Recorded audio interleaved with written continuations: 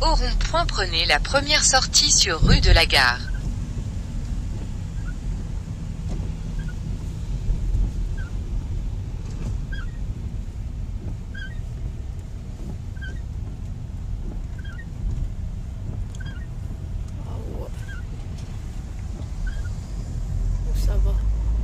Dans 300 mètres, tournez à gauche sur rue du Château.